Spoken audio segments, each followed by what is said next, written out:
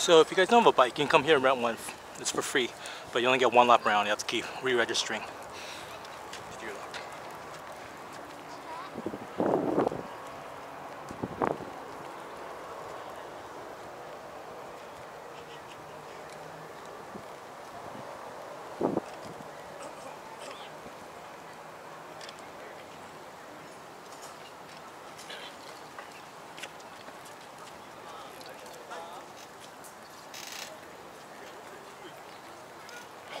And you see all the little kids doing practice.